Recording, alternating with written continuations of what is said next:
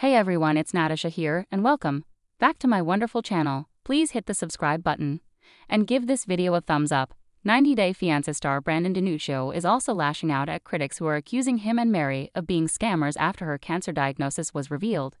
90 Day Fiancé star Brandan DeNuccio is sharing an update on Mary Dumasig's health after she shockingly revealed that she has colon cancer. Mary from the Philippines starred in 90 Day Fiancé. The Other Way, Season 5, with Brandan from Oregon. Brandan and Mary had met online and were dating for two years before he moved to the Philippines.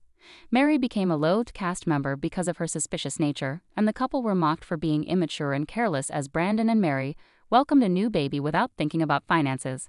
Mary has a recent colon cancer diagnosis.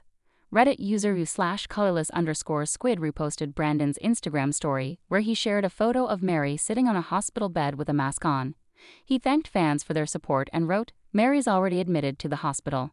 Brandan wrote that Mary was staying strong and seeing all the sweet messages they were sending her.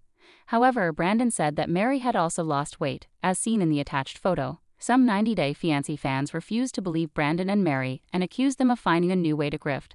There were seemingly no medical records or receipts that the couple provided. After all, Brandan himself had revealed that he called Mary a scammer and a bastard whenever they fought. Mary's sickness was seen as a ploy for them to make money by fooling gullible fans.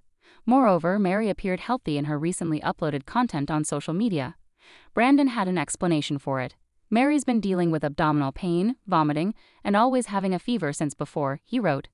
Brandan wrote that fans couldn't see Mary exhibiting these symptoms in the videos she was posting online because she's always happy and energetic in the videos. Brandan praised his wife for putting in a lot of work in the videos to make sure she could make enough money for their daughter Midnight and her family. Brandan wrote that Mary was refusing to go to the doctor for checkups because she was so scared of finding out what was going on with her stomach.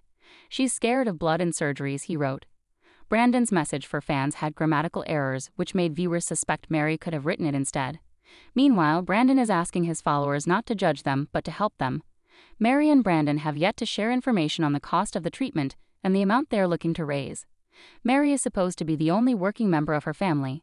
Hopefully, the young 90 Day Fiancé cast member will make a speedy recovery.